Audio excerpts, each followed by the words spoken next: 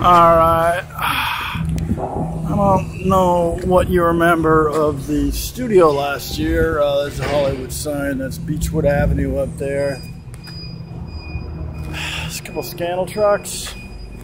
Here's our how to get away with murder stuff. At any rate, big news though. Big construction project here um, over at Sunset Gower. New parking lot.